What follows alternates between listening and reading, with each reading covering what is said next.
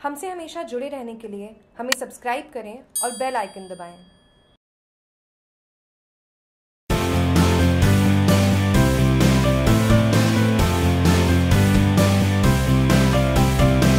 रानीनगर के तीन सरकारी विद्यालयों में सुभाष खिमावत की ओर से सोमवार को विद्यार्थियों को नोटबुक वितरण समारोह आयोजित किया समारोह में चौधरी ने कहा कि बाबा शाह की वजह से आज शिक्षा अग्रणीय है खिमावत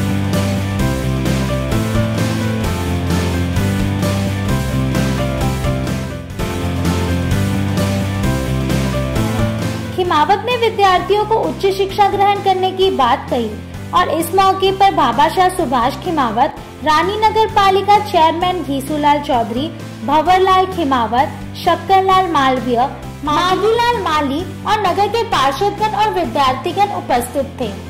रानी नगर से जागरूक टीवी की रिपोर्ट।